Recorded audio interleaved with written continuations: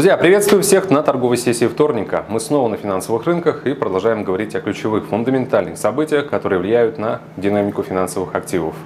Не забывайте подписываться на наш канал AMarkets, оставляйте ваши вопросы в секции с комментариями, не забывайте ставить лайки.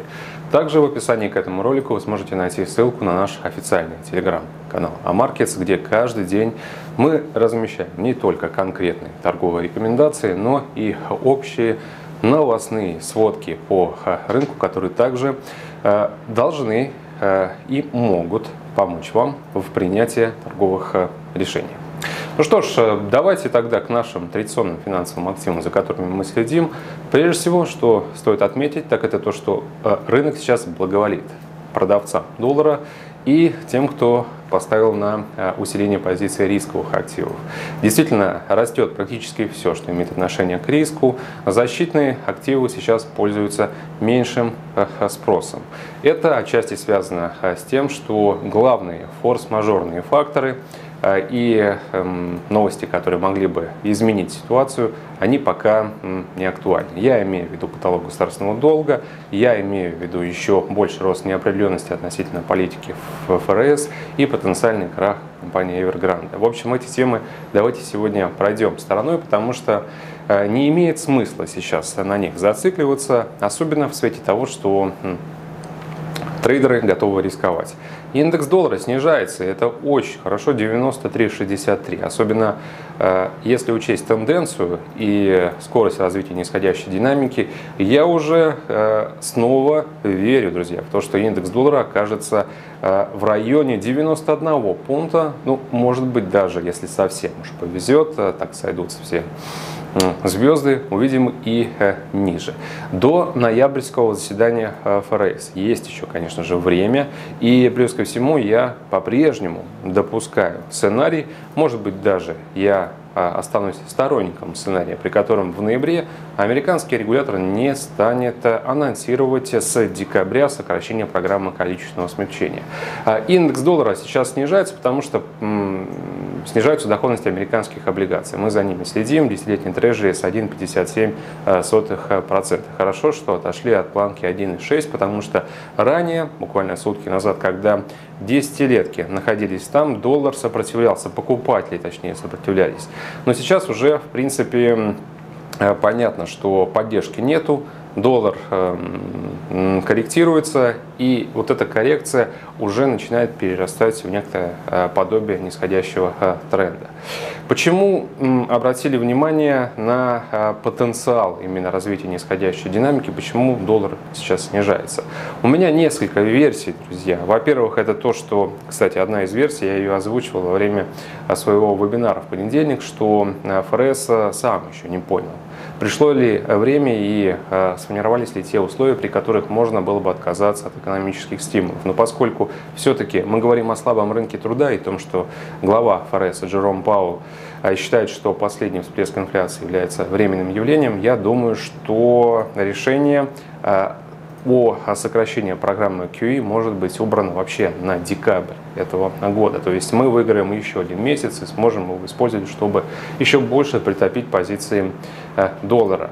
Э, оправдано ли это решение? После последних данных по Китаю, да. Э, китайская экономика, которая, как вы знаете, является чуть ли не лакмусовой бумажкой общего состоянием мировой экономики. А в прошлом квартале, в третьем, экономический рост составил 4,9% против 7,9% во втором квартале.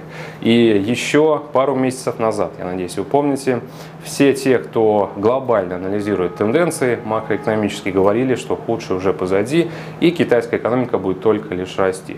По факту мы получаем цифры, которые точно не вяжутся с э, трендом роста, а значит китайская экономика буксует.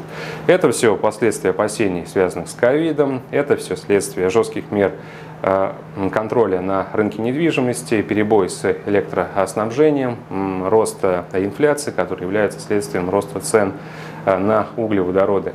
Э, и в конечном счете все это замыкается на более низких показателях экономической э, активности. То есть у меня нет вопросов к тому, что китайская экономика показывает такие смешные цифры сейчас. Но есть то, что есть. И может быть, те, кто все-таки сейчас Э, думал о том, пришло ли время для сокращения экономических стимулов, э, начинает руководствоваться другой логикой, что если э, Китай не растет и мировая экономика не демонстрирует устойчивый темп экономического роста, значит преждевременный отказ от мер экономического стимулирования может стать ошибкой. И если это так, друзья, ну развязка уже близка, 2 ноября Э, состоится заседание ФРС, э, и там уже все точки над будут э, расставлены. Пока что шорт сохраняется. Золото 1775, хорошо, что локально восстановились, но опять же, как только доллар идет вниз, как следствие снижения доходности американских трежей, золото растет. И при такой динамике, как сейчас, даже сегодня десятилетки проседают, я думаю, что золото слово уйдет в район 1800 долларов за тройскую унцию в ближайшие чуть ли не э, часы. Рынок нефти 84.32. Новостной фон за сутки не изменился. Основная идея – это глобальный топливный энергетический кризис. И более комментировать далее э, рынок нефти сейчас не имеет смысла. Если вам нужно больше информации, пересмотрите прошлый брифинг. То, что сейчас нефть снижается, это обычная коррекция. Когда актив забирается на 20% за считанные дни, конечно же, он может показать коррекцию, потому что любое движение на финансовых рынках – это борьба а, продавцов и покупателей, и наоборот. А, в целом восходящий тренд остается актуальным. Доллар канадец, как я и говорил вам, продавайте эту валютную пару, потому что очень предсказуемое нисходящее движение на фоне роста нефти – и снижение курса доллара. Еще одна причина, почему канадский доллар сейчас пользуется поддержкой, это крайне эффективные меры правительства Канады в борьбе с э, эпидемией коронавируса. И об этом мы можем э, судить по проценту вакцинации населения и э, тактики, скажем, выработки коллективного иммунитета и по росту количества заболевших за сутки, в то время как э, во многих регионах мира, к сожалению, тенденция снова указывает на то, что э, по мере ухудшения погодных условий и э, причины, за которые люди начинают больше времени проводить в закрытых помещениях, количество заболевших растет. В Канаде количество заболевших снижается уже не одну неделю подряд.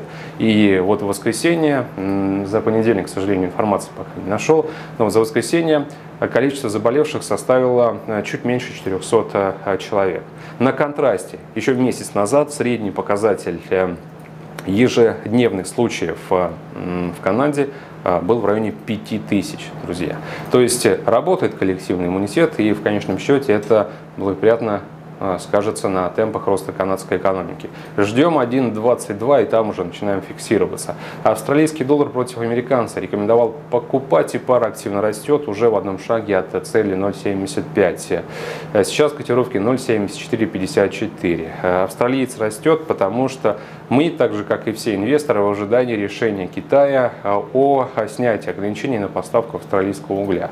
Протоколы, которые вышли несколько часов назад, в целом оказали позитивный эффект на австралийский доллар, э, потому что даже в них участники рынка нашли сигналы того, что Резервный банк Австралии будет дальше сворачивать программу количественного смягчения и, соответственно, двигаться по пути последующего повышения процентной э, ставки.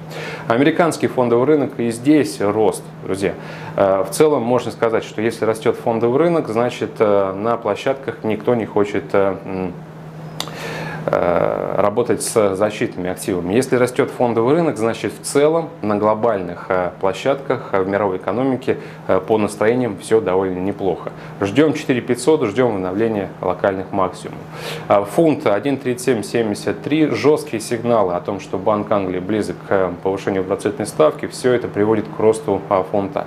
Я ранее уже открыл длинную позицию, жалею, что не открыл ее раньше. Ну, всех денег не заработаешь. Ждем 1 40. И биткоин, который продолжает расти уже в одном шаге от новых а, максимумов. 62 а, 765 долларов. И нужно сказать спасибо а, запуску, точнее решению Американской комиссии по ценным бумагам и биржам СЭК относительно запуска первого ETF-фонда компании ProShares. Соответственно, сейчас э, будем, так же как и все, ждать дополнительного интереса со стороны институционалов, тех, кто хотел раньше купить биткоин, но не мог из-за того, что не было хорошей регуляторной и более-менее защищенной среды, сейчас у них все это есть. Если э, биткоин действительно воспользуется вот этим преимуществом, друзья, а право окажутся те, кто ставил на 75 и 100 тысяч уже в перспективе ближайших месяцев. На этом, собственно, все. Большое спасибо за внимание и хорошей торговой сессии. Всем пока.